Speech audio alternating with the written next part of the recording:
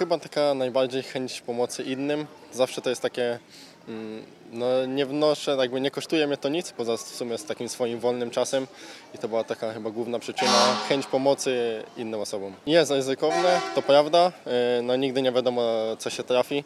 W momencie, gdy zawyje syrena, tak naprawdę nigdy do końca nie wiemy do czego jedziemy.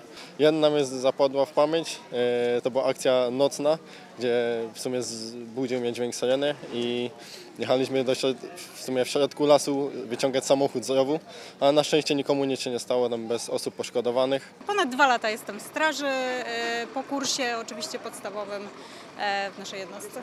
Nie ma co zaprzeczać, mężczyźni mają więcej siły fizycznej, więc, e, więc zdecydowanie oni tworzą trzon straży.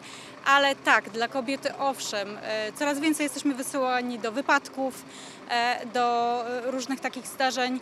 Jednak kobiety mają więcej empatii i oprócz samego przeszkolenia strażackiego i, i po pracy strażackiej, e, tutaj jest e, dla nas też pole do popisu do ratownictwa. Jestem również ratownikiem KPP. Potrafię wszystko to, co koledzy.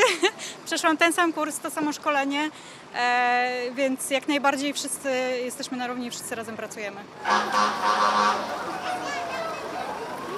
Myślę, że zawsze gdzieś tam z tyłu głowy było chęć wstąpienia do straży, ale nigdy nie było okazji. W końcu no, nadszedł taki moment, że zapisałem się na, na kurs. Ja też y, jestem opiekunem młodzieżowej drużyny pożarniczej. Na chwilę obecną mamy 12 osób, w większości dzie- dziewczyny. Czego byśmy sobie życzyli wzajemnie, e, tyle powrotów, ile wyjazdów i tego staramy się trzymać, żeby każdy, tak jak wszyscy wyjeżdżamy, tak żeby w tyle samo osób wrócić do jednostki i żebyśmy mogli wrócić tam do swoich domów, do swoich rodzin, a także no, brać e, czynny udział no, już w późniejszych akcjach.